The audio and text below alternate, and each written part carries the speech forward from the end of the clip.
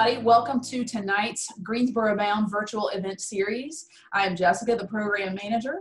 I'm happy to have with us tonight Kathleen Purvis and Daniel Pierce. Kathleen is a three-time James Beard Award nominated author and food journalist with an impressive resume of publications including Our State Magazine, The Charlotte Observer, Garden and Gun, and Southern Living. She also has a book called Distilling the South, A Guide to Southern Craft Liquors and the People Who Make Them. Uh, Kathleen is currently a freelance food journalist, so if anybody out there needs a food writer, Kathleen is your gal.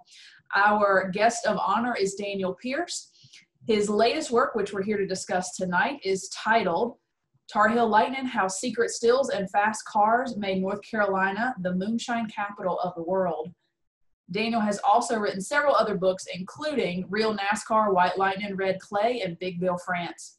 He is the interdisciplinary distinguished professor of the Mountain South and resident professional hillbilly, his words, not mine, at University of North Carolina, Asheville, where he teaches courses on the South, Appalachia, North Carolina, and national parks. Kathleen and Daniel, I'm so glad to have you guys here with us tonight. So Kathleen, take it away. Hey, how y'all?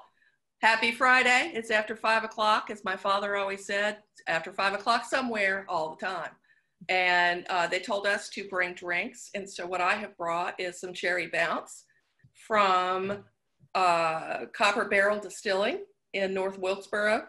And I have to say it's aged very well. It's very nice. Daniel, what you got? You got some bounce over there too, man, right? Yeah, I do. This was made for a uh, Vivian Howard event by Gary Crunkleton uh, using uh, Howling Moon Moonshine, which is uh, made by a UNCA graduate. So um, very partial. Very good. So. well, let me let me tell you a little bit about Daniel, and then I'm going to read a little passage from his book, and then I got lots of questions for him. So I first heard about Daniel Pierce from a reliable source, my son. Uh, when my son was a freshman at UNC Asheville, I'd gone over to visit, and he was running down the list of the coolest professors on campus.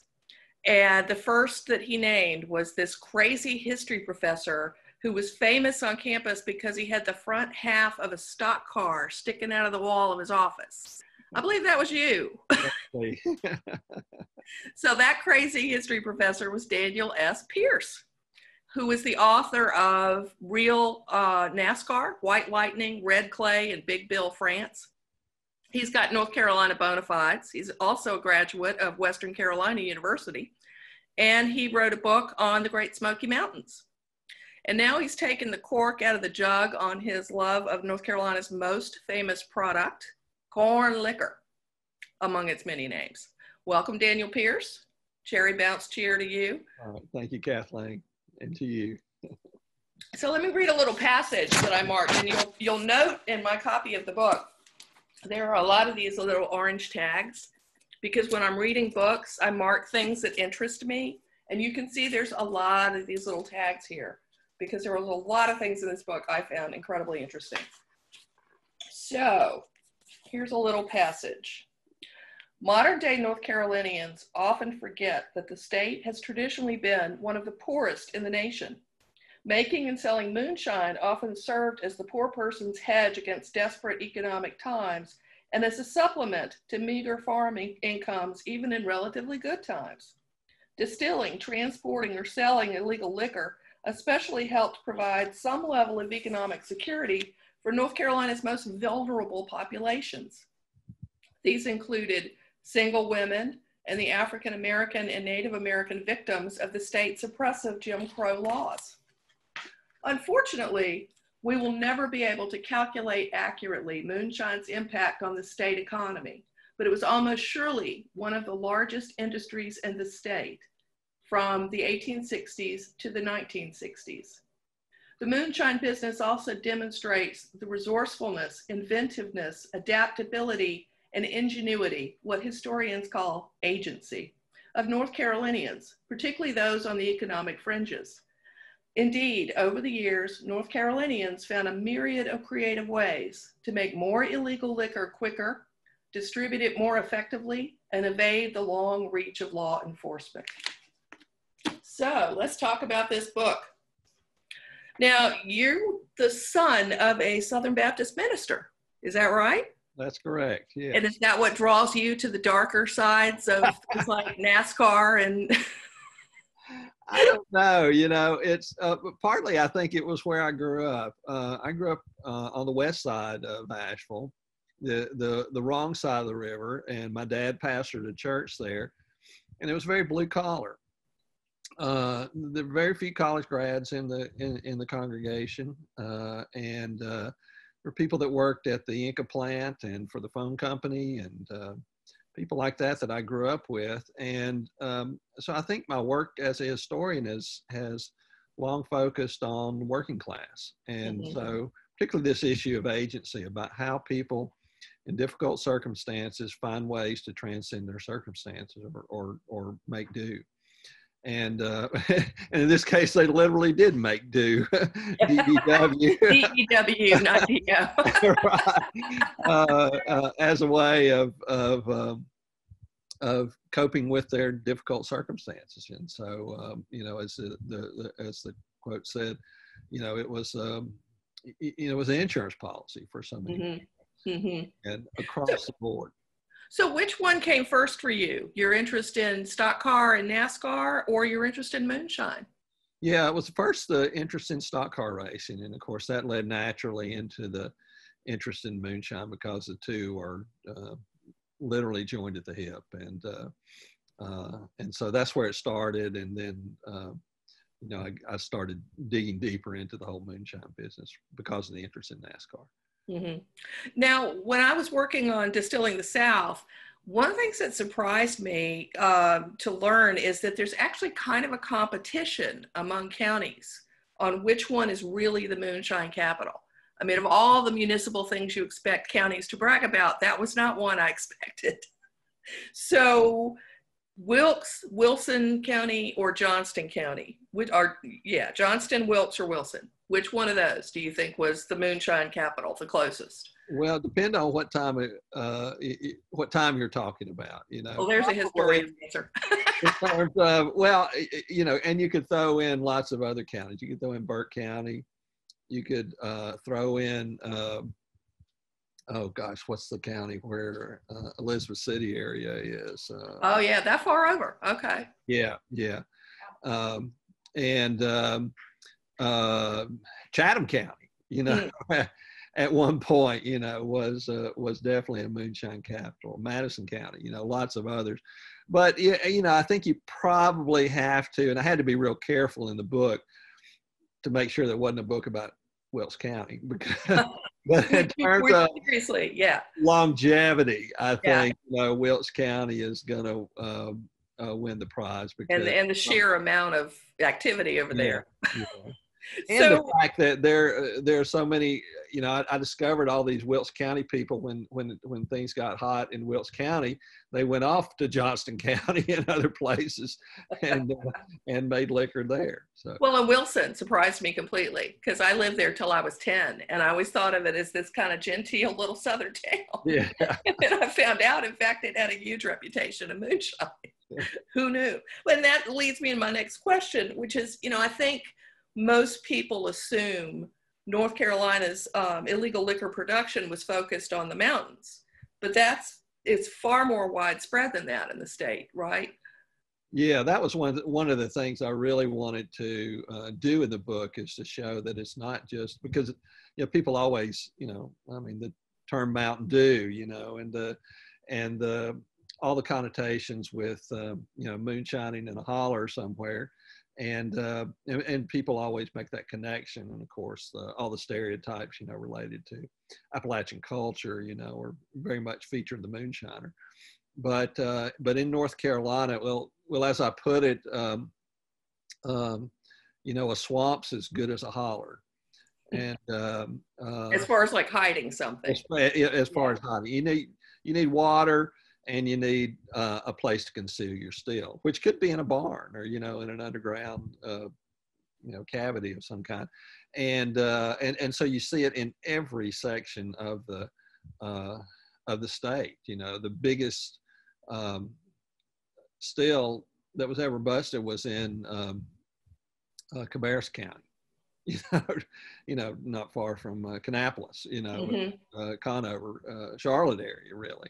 Mm-hmm. Uh, and so, um, you know, again, it's all over the state. Uh, and, and literally, I think I've had plenty of, of evidence from every county in the state. Yeah, it's funny. When I was um, I was at Broad Slab Distilling in Johnston County, and he it's a farm-based distillery. He learned from his grandfather, who apparently once upon a time that was the main road to the beach, and so they had a produce stand, and you stopped and bought your cantaloupes and you know your watermelon and a jar of shine to take with you to the beach.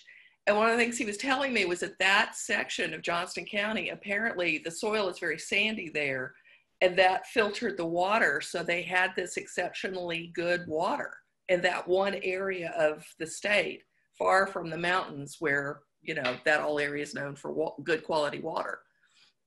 So, you know, I wouldn't have guessed that. Yeah. Um, so you introduced me to a couple of new words that I want to ask you to explain to me.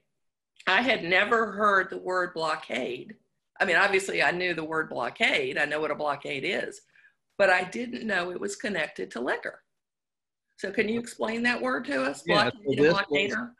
Right. This was the uh, the term that was commonly used up to around uh, 1900.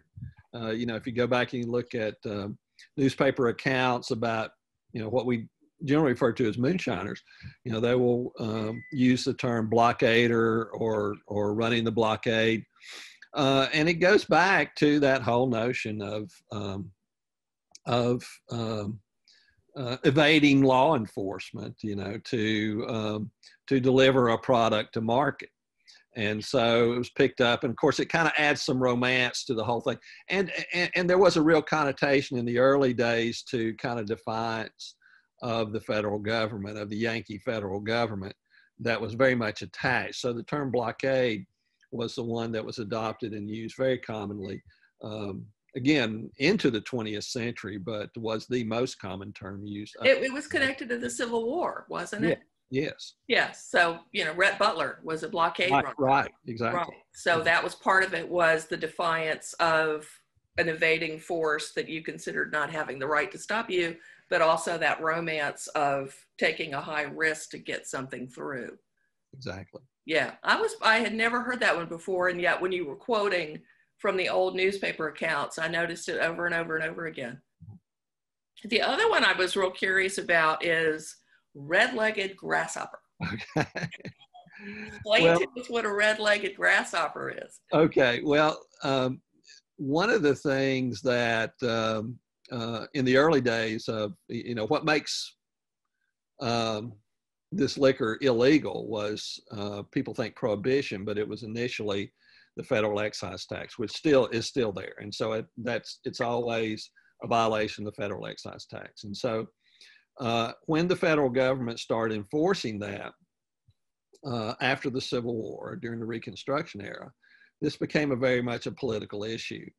And so the Republicans, um, the um, revenue agent was a patronage position. And so these were appointed by Republican office holders, and they were Republican, loyal Republicans themselves. So the Democrats used this very much against, they very much sided with the moonshiner. And Zeb Vance, uh, who I think most North Carolinians are familiar with, and kind of controversially now. And and of course, there were two big issues that helped to um, uh, bring the Democrats back into power. One was the race issue, um, and um, you know um, the white supremacy issue. I guess uh, I should say was a Mhm. key issue. But almost as important was the liquor issue. Uh, and the um, and the promise that the Democrats always made was that they were going to disband the um, Internal Revenue Service and end the liquor tax, which they, when Grover Cleveland got elected, uh, first Democrat in a long time, they didn't do because they were too dependent on the revenue. But Zeb Vance used this as a campaign issue to to get elected, and that was his favored term for revenue agents were red-legged grasshoppers that were um, you know, kind of destroying the fruit of the land. You know, here's something that was, you know, a, a natural part of of of of life for so many farmers. And here these people were coming in and, uh, you know, like a plague of locusts and. Mm-hmm. And so, uh, so he he he uh, loved that term, and actually you see it in North Carolina again, well into the early part of the 20th century. People are still referring to revenue agents as red-legged grasshoppers. Yeah, there was there was a um, a, a, political cartoon you had in the book that showed a, a locust or a grasshopper, and what made me laugh was that he was carrying a carpet bag.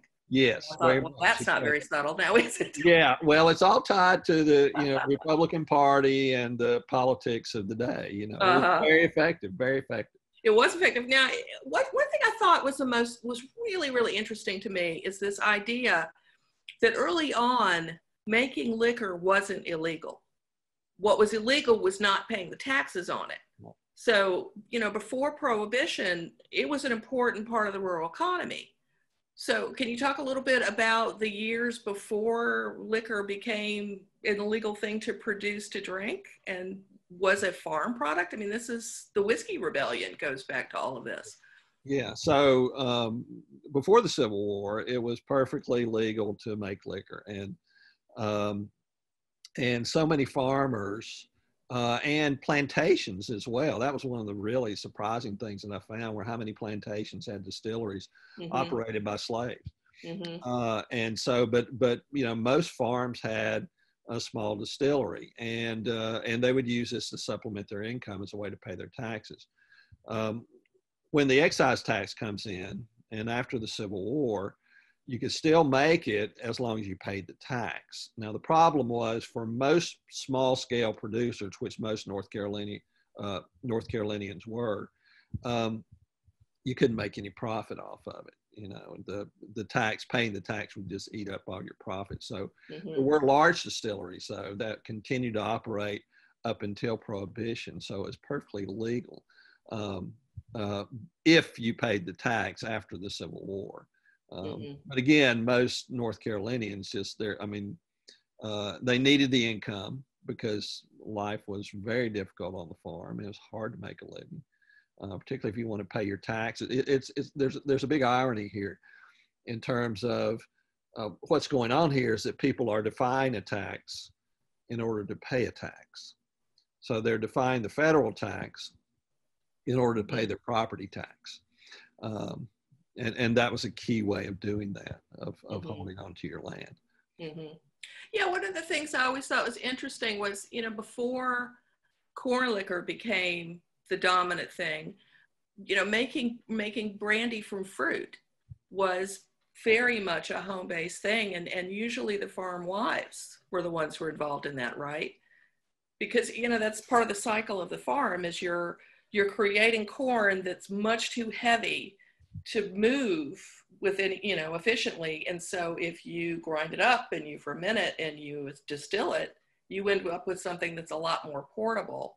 And if you got way too much fruit coming in uh, you know fruit always tends to come in all at once you can ferment it. You can make something that'll keep you warm and you know cure your cough and make your children happy all through the winter.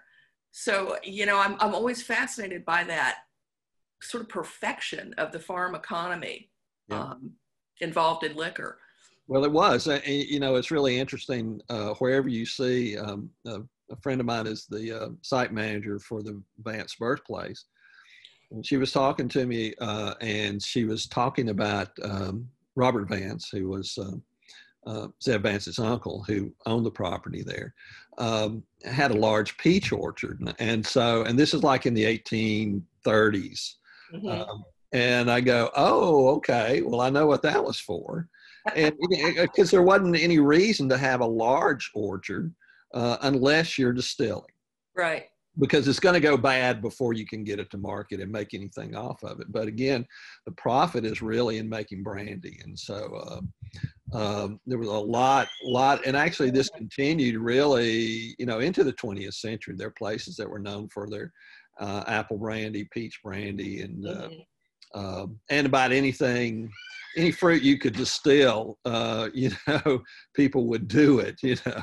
Yeah, uh, when you go up to George Washington's distillery at Mount Vernon, uh, there's a list of the brandies, and one of the ones he was making was apparently persimmon brandy. Yes. Which I had never heard of. But if you ever want to tour a really old wood-fired operation where they truly show you how much labor went into making it, it there in Virginia, it was rye whiskey, not you know corn whiskey so much. But it and a great place to take kids because the mill is fascinating. it's a wonderful well, that also, that also points to the really important thing that it wasn't just all over North Carolina, but it's it it's across every demographic group in the state. And so, uh, you know, these African Americans who made liquor as slavery took those skills into freedom, and mm-hmm. it's an important way for them as well. The uh, the Lumbee, uh, in particular, were very big in the moonshine business. Uh, and actually, it was African Americans. The original moonshiners in North Carolina were African Americans and Native Americans mm-hmm. because there was a state law passed in the 1830s, which made it illegal for, for free persons of color to make liquor. And so they started defying the law uh, in the 1830s. And really? so they are really the original moonshiners in North Carolina.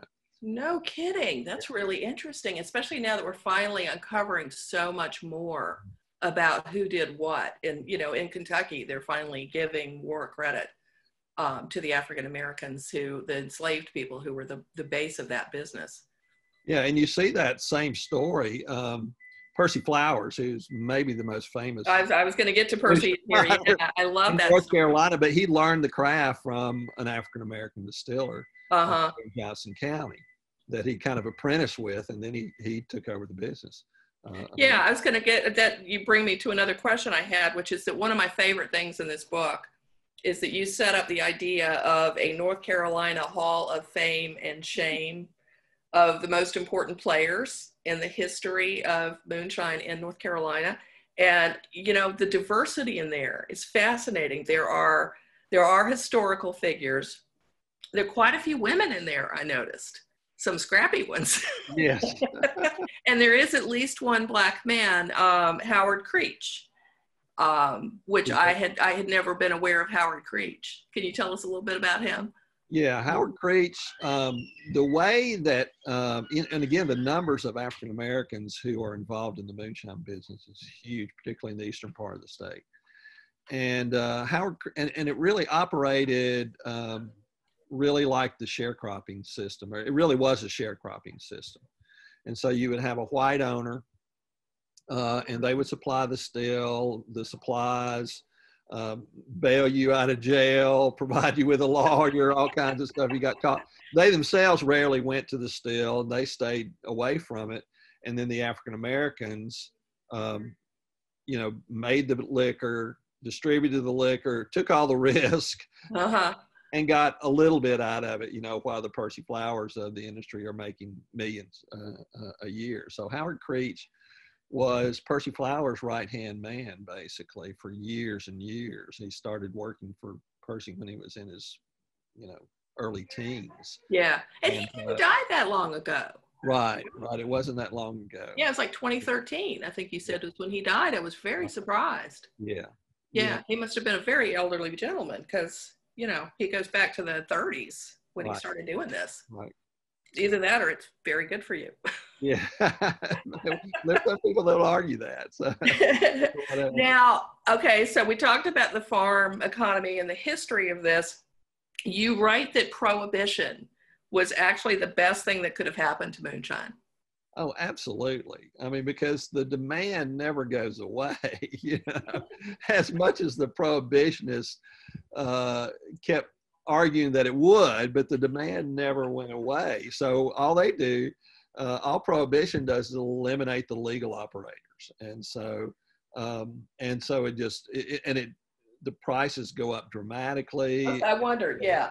Oh yeah, and and particularly and when you get to national prohibition, I mean the prices skyrocketed. I mean that's just incredible because North Carolina has this great reputation as you know going back into the 1870s, you know, from Harper's Magazine and places like this for making great moonshine, and so um, and so you you know you're you're distributing nationally at that point, and uh, and again the profits are just incredible at that point. So it, it kept a lot of people in business for a long time.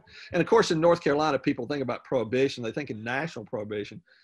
Prohibition starts in north carolina. There's a referendum in, in 1908 Mhm. goes into effect in 1909 so 11 years before national prohibition north carolina is dry uh, and actually you had dry counties before that Mhm. then when national prohibition ends in 1933 most of north carolina remains dry well into the 1960s or 1970s i mean we still have some dry counties in north carolina Yeah, we do. And that, that always surprises me across the South. I think Mississippi, they didn't lift prohibition until 1966. Yeah. You know, I don't think people realized how long right it lasted across the South. yeah Yeah. and which is why moonshine persists as long as it did because it's the baptists that are making it last so long you know well, that was a, there was another person that came up in your Hall of Shame and a, and a phrase that I wanted to, to get you to talk a little bit about. And it's funny because it was something that I only thought of as having to do with South Carolina.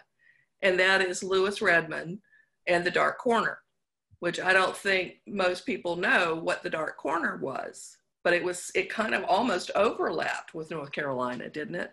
Yeah, so that little point of South Carolina is called the Dark Corner, and part of the reason it was called that was because of Lewis Redmond and his kingdom, really there. But Lewis Redmond was a North Carolinian; he was from Transylvania County, and uh, he grew up. Um, you know, his family made liquor as part of their farm activities, and then after the war, they kept making liquor. And then uh, he was accosted on the way to market one time with a wagon load of liquor by a revenue agent. And they ended up uh, having a shootout, and Redmond killed him. And then he goes across the border into South Carolina, but he ends up kind of having this, uh, uh, really almost keen. He had a gang, and I mean, they, they just terrorized the revenue agents in that area. But he became very popular. Wade Hampton the governor of South Carolina, you know, was a big was a big supporter of. Uh, hey, Lydia, I hope she's not making comments on your on your fact she's actually quoting my mother. Well, he was always considered a Robin Hood like character. oh, absolutely. I mean, he was profiled in the New York Times. yeah, I mean, uh, the amount written about him. yeah, he was a huge celebrity. I mean, he was really probably the first uh, celebrity moonshiner. You know, which there have been a number of North Carolinians who would fit that bill, and so then he eventually brought to justice. You know, or, or he had, had a shootout. He, he he goes into Swain County uh, to uh, because things got too hot in South Carolina, and has a shootout, gets wounded, and then.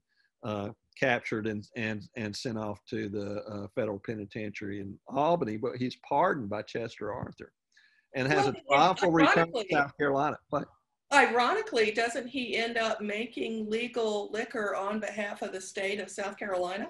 yes, yeah, in South Carolina, yeah, What so- about his story. yeah, and his picture's on the bottle. And actually now there is a legal moonshine. There is, yeah, And, uh, six and twenty is it? I believe in I'm- uh, I'm Greenville, sure South Carolina. Yeah, Yeah, and so that with Lewis Redmond's picture on the bottle. yeah, yeah. They all kind of compete to claim like links to Lewis Redmond.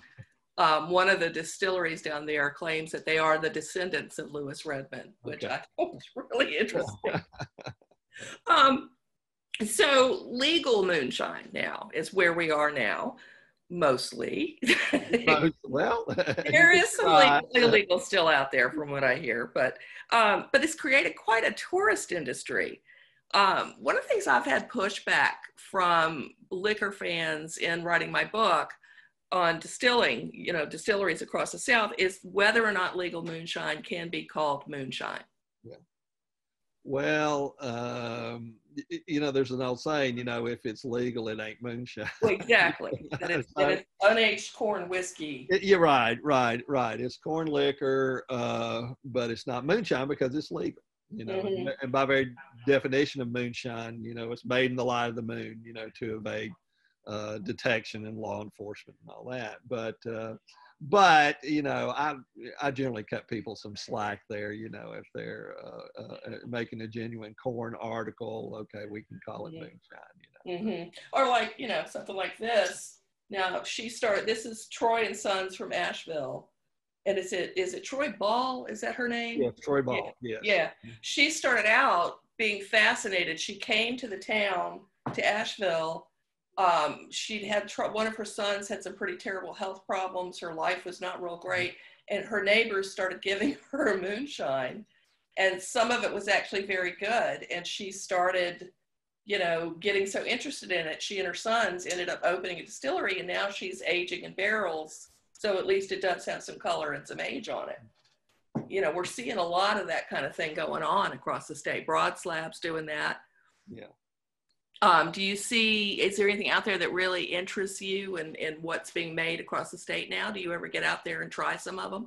Yeah. Uh, you know, not not so much my mother knows, but. Uh, but but it's really interesting and and i you know it was really funny because doing that last chapter of the book i just could not keep up you know because yeah. every time i write it there you know two more would open somewhere. i had the same problem yeah uh, in fact i think i even say in the book that you know that's only in these key counties you know burke county doesn't have one well now they do you know south mountain yeah. distillery you know which they should you know but a lot of them do play on the heritage and a lot of them are family connected. Um, uh, I have to give, um, you know, uh, shout out to Cody Bradford, who's my, my former student, uh, who who in UNC Asheville grad, um, who makes it here in Asheville, and he, he goes back probably five generations. Really? yeah, and Cody has a relatively small operation, although he stays really busy. Um, I, everything I know about making moonshine, I learned from Cody, but he, he, he makes it in, in something you would recognize as a still. Mm-hmm. A lot of the fancier ones, you know, like Troy, you know, and she makes a good product, but she, it, it's a German built. Yeah, Olympic still. Yeah, one of the really big. Column, yeah. yeah, column still. Yeah. And uh, you know, Cody you know, makes it, uh, you know, his stills look like stills. And so, but you see a lot of family connections in there. You see um, uh, the Call family. I was going to say the Call. County, yeah. And uh, this, this, I, I, can't remember the guy's name, the Broad Slab, you know, that's a, you know, his is a long family tradition. And so you see that, and, and actually a number of these, you see that family tradition. Uh, although the very first one uh, was, uh, that was made, Piedmont Distillers, the first one in North Carolina, um, Moonshine Distillery. Uh, he was, uh, I think, from New Jersey or somewhere, New York or somewhere like that. I think was the advertising executive with R.J. Reynolds, and then went into the moonshine business. So, but then he got Junior. Then he signed up Junior Johnson for uh-huh, uh-huh. Midnight Moon, and so that kind of gave him more legitimacy, I guess. And yeah, in, uh, in that. So one of the things I have to, to confess is um, uh, you and I probably had the same editor at UNC Press. Was Elaine Maisner your editor? No, Mark Simpson-Vos. okay. Elaine Maisner is the editor in a lot of the food books. And I had done, you know, two books in the Save Savor the South series, including this one on bourbon. Um, notice how I slipped that in. Um, and Elaine called me up and wanted me to do something more on whiskey because she said, you know, you're actually good on whiskey. And I thought, well, that People have always said that. Get a few drinks in me and I'm easier. Um, but I had to tell her, she wanted me to do something on craft distilling. And I said, you know, that'd be great, but so much of what I've encountered in craft distilling at that point was legal moonshine. And honest to God, I hated moonshine. Yeah. It is hard stuff to drink, and bad moonshine is not pleasant at all. I did eventually find a moonshine I really liked and that is, you know, Copper Barrel out of North Wilkesboro. They are using the steam method that you talked about that's very um, peculiar to that area. Um, and they make a much smoother product.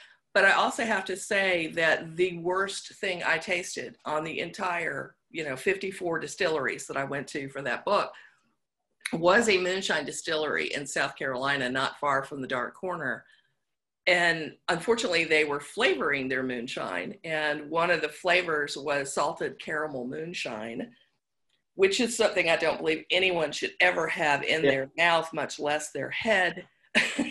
Try to get rid of it try to get rid of it. Um, so what did could you tell me about like the best you had and the worst you had in in your history of researching all of this?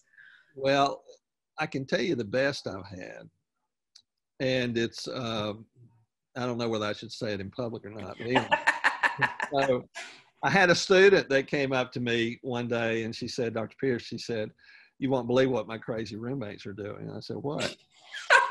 He said, they built a still in the backyard shed and they're making liquor. And I said, oh, I said, well, you know, it's going to be horrible you know because most people you know and i've heard so many stories people try to make it they get some something off the internet you know and they get some recipes off the internet and then they're making it with you know i've even heard of people trying to make it with uh, frozen uh, corn you know. Oh god no. you know and it just turned it's horrible you know and so uh, and so i said you know it's going to be horrible and so anyway, we have our, our banquet every year uh, for the history department at the governor's western residence. Most people don't know there's such a thing, but there's a house up on Sunset Mountain above Asheville that's owned by the state and uh, was donated to the state actually to get the governor to western North Carolina and remember that we're we're there and part of the state. But anyways, but they let nonprofits uh, have their events there, and so we have our event there and so we're cleaning up in the kitchen after the event. And the student comes up to me with a little bag and says, I've got something for you. And so there was a little jar in there. And so I opened I, and I, I was dreading it because I knew it was going to be so bad and everything. And I sipped that and it was incredible. It was really so smooth. It was just, and, and it just had, you know, just the right balance. I mean, you had the corn taste. It was just, it was perfect. And so I called my our assistant in the department who's uh, from Old Fort, and she'd had a lot of moonshiners in her family. In fact, her husband makes it. But but I'm outing him here on this. But anyway, I said, Ashley, get over here, try this. And so she tasted it.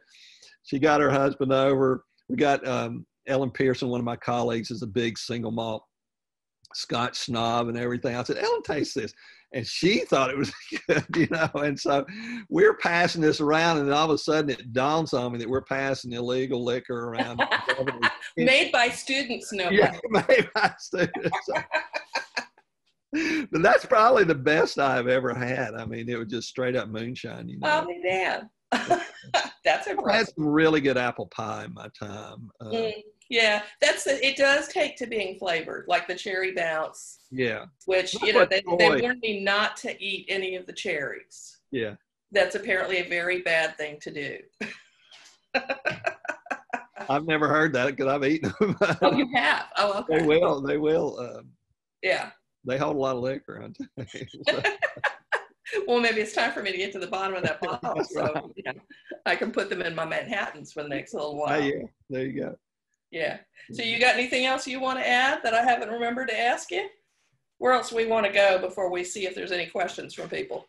Well, I, I, I guess just to mention the role of women uh, quickly. Uh, because Thank you. To, Always happy to hear more about that. Yeah. and it, it really was an eye opener uh, as I really got into the newspapers. And, and there have been a few mentions, just a few small mentions in literature. Um, uh, Elizabeth Engelhardt at Chapel Hill had written a chapter in um, her book, A Mess of Greens, uh, about women and moonshine. And but most of her examples were from fiction. Huh. But then I started when I got into the newspapers. I mean, it was just like over and over and over and over these fascinating stories about about women and uh, you know and it, and it's a really interesting thing that you have for women uh, it, again, it's this insurance policy.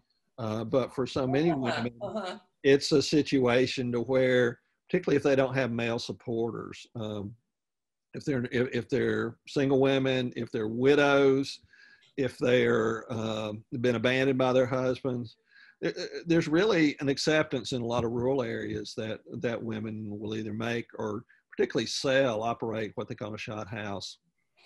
Um, and out of their house. And this is very common, particularly in the African American community, mm-hmm. Uh, uh mm-hmm. in the, uh, among the Lumbee, but all over the state.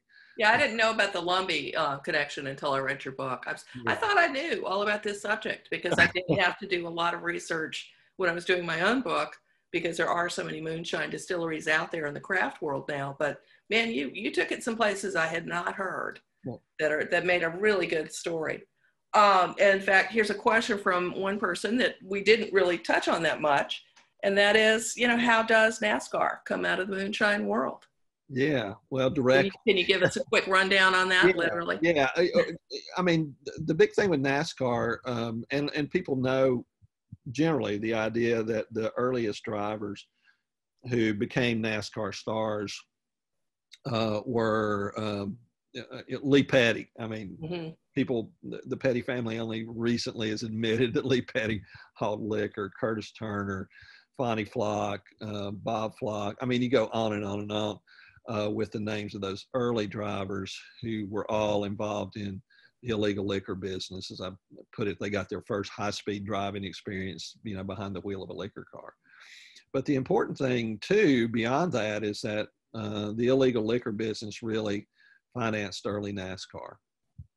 And it was um, the uh, car owners, the track owners, the promoters, the mechanics, everybody was was tied up in the illegal liquor business. So, so the whole thing is really um, a product. NASCAR doesn't like to talk about it. You know, they'll talk about a few drivers. They'll say, "Yeah, there's Junior Johnson." You know, of course, you know, he, spent almost a year in the Chillicothe, Ohio federal penitentiary. You know, but but it's the um, um, you know it's those track owners, it's those promoters that that were so important that were right in there partnering with Bill France, who's the head of NASCAR. You know, and France always acted like he never knew anything about that, but he was business partners with these people. He had to know where their money was coming from. So, uh-huh.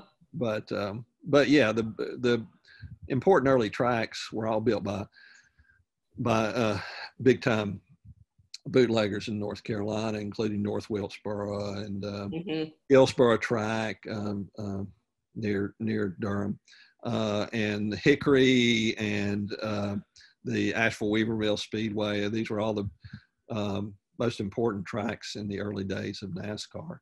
And uh, the Charlotte Speedway, where the very first NASCAR race held. Ours not, we call it the Lowe's Motor Speedway. Well, not it's not the same track. This is oh, I see. You're talking about the, the forerunner. Okay. Right, okay. right, right. So, so, uh, but that one has some ties because Curtis Turner built that, and he was a big time uh, a moonshiner back in the day as well. So, uh-huh. all sorts of connections in those mm-hmm. days. So not just the driving and not just the way they strip the cars down. No, no, no, no. no. Souped yeah. them up so that, you know, but always used an old body so you didn't know. Yeah. Right. Yeah. So we have another question. Um, what is the earliest year you know of moonshining in North Carolina? And what types of records did you use to learn about the history? Yeah. So um, well, it goes back, you know, again, 1862 is when the federal excise taxes passed as a wartime measure. Mm-hmm. And of course, North Carolina had seceded, so it didn't exactly apply. So it took a few years after the war before, and the federal government, you know, had to kind of tread lightly, you know, uh, in terms of enforcing. But by the late 1860s, um, one of the first cases I came across actually was an interesting one. It was Amos Owens, who was uh, called the Cherry Bounce King out of uh, Rutherford County, and uh, and he got busted, and the uh, and they sold his still on the steps of the courthouse, and uh, and he had been a big time legal producer before the war. Uh, but um, he was one of the first. So in the late 1860s, and then really stepping up in the 1870s, early 1880s, and what they called the Moonshine Wars, particularly in Western North Carolina. Mm-hmm. Um, and so uh, there are a number of things. Uh, for one, you know, one of the nice things when you have uh, a federal agency, you know, they tend to keep good records. And so you have the records of uh, what's originally called the ATU, the Alcohol Tax Unit, and now it's mm-hmm. alcohol firearms, tobacco, explosives, and whatever else, you know, uh, that type of thing. And the name changes over the years, but they're they're always records, and that's kind of what I base my whole thing about North Carolina being the moonshine capital of the world because. Um, North Carolina is at or near the top every year, pretty much in terms of the number of stills uh, uh, busted, uh, the number of people arrested, um, all kinds of statistics that the um, um, that the Treasury Department, uh, that that arm of the Treasury Department that's in charge of this, um, uh, kept. And so that was a, big part. And then the newspapers, we got a wonderful thing in terms of historical research in recent years called newspapers.com, which it's just, inc- and there are other newspaper da- databases as well that you can actually search. And Yeah, so, like Nexis, Lexis, and you know. yeah, yeah, but you can find so much that you, it, you know, it would have taken me 20 or it, it would have taken me the rest of my life to do the kind of research just scrolling through microfilm mhm. um, you know, but but you can just go in and put search, you can put moonshine in or whatever, you know, or blockade or whatever, and then you get all these results. And so I found out so much um, uh, through that newspaper research as well. And then you got a lot of um, oral histories because people have always been interested in moonshine. There's just a real fascination with the topic, and uh, and the and, and the figures are so interesting in many ways and Mhm. colorful, and people always wanted to uh, write about these people. Yeah, you got some great pictures, especially those Hall of Fame entries on, on some of these guys. Um, one of the stills that you mentioned, um, there actually was a still known as the Bobby Burns still. This is, do you remember this? It was Yeah, I- put in a I never was- Yeah, that was mentioned in a newspaper that supposedly Robert Burns was uh, what they call a gauger, uh, and he was um, essentially Robert Burns is Hindi Scottish poet. Right, right. Right.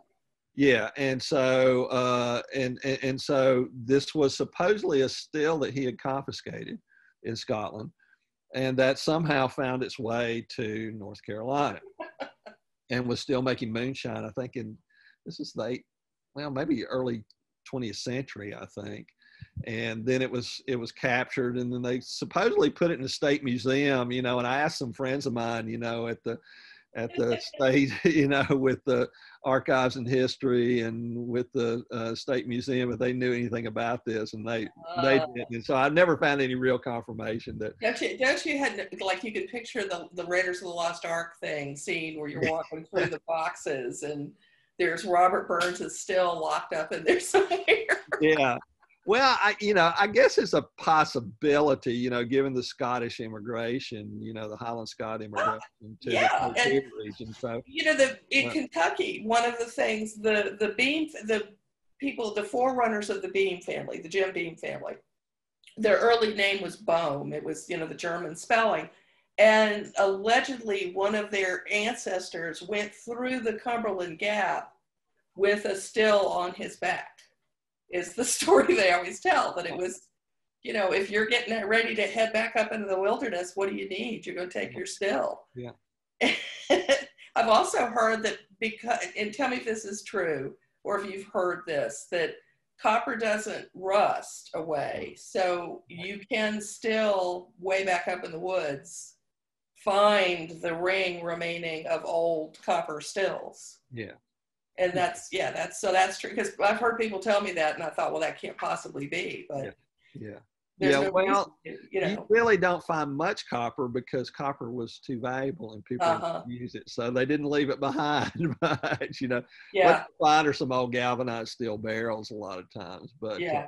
Yeah. yeah, and I remember as a kid in Wilson, um, this would have been 65, 66, they used to actually have public service announcements on TV, uh, you know, along the lines of don't drink that, you'll go blind.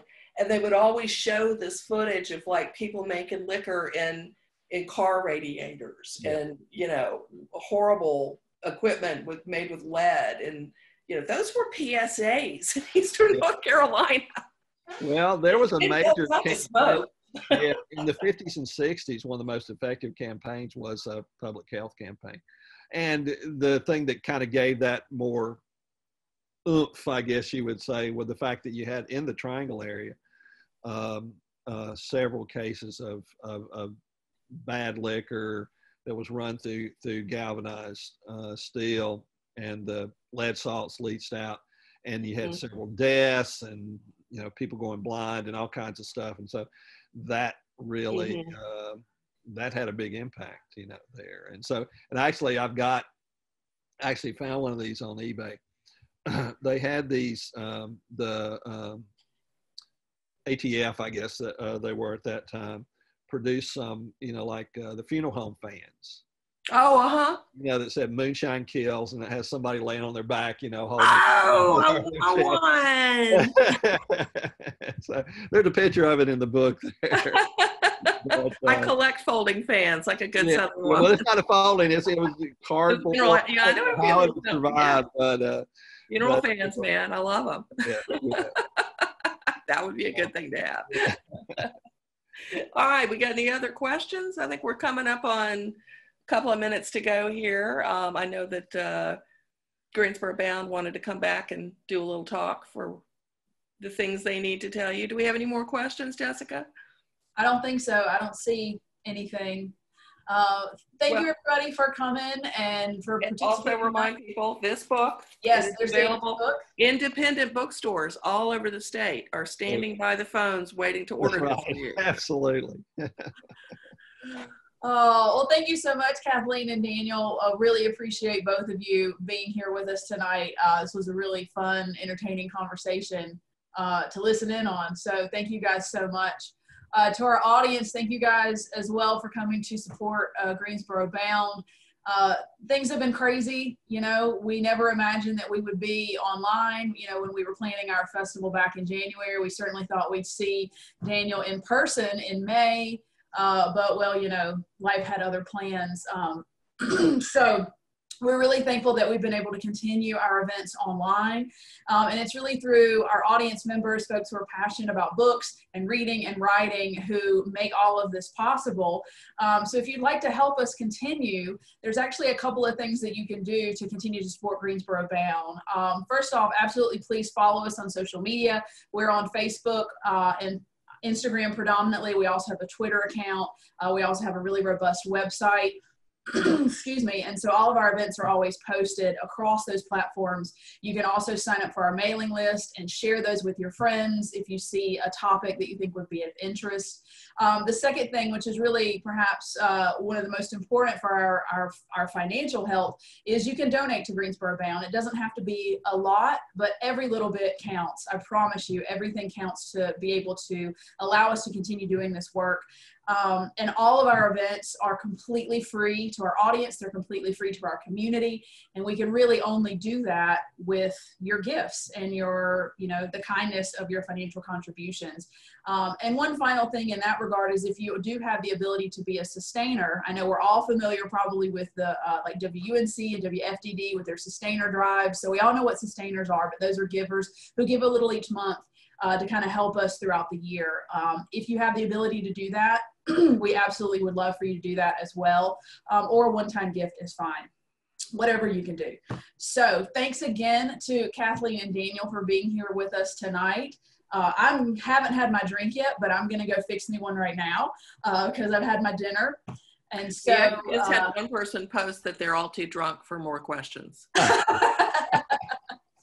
All right, I can see that, especially if they went by the liquor store and picked up some real moonshine. I, I imagine they probably are a little, um, a little, a, a little past at this point. So, um, thank you, everybody. Please again keep an eye on our social media. We do have another event next week, and then we've got even more coming up for the fall. Um, we're going to be here virtually uh, as long as we need to be, and so you know, keep coming back for more. Uh, next Thursday, we have our last Crimson Letters event if you've been following those. Um, but check out our website, greensborobound.com, for all the information on that. So, all right, thank you again to Kathleen and Daniel. I really appreciate your time. Those of you at home, thank you as well. Um, and everybody, I know we're not drinking and driving tonight, so you know if you can, go have another one, and we'll see you next week. Thank Happy you guys. weekend, happy Friday. And thank you, Daniel, for, for being such a good sport with all my questions. I always Thank enjoy you, it. Kathleen. I appreciate it. It's fun. All right, bye y'all.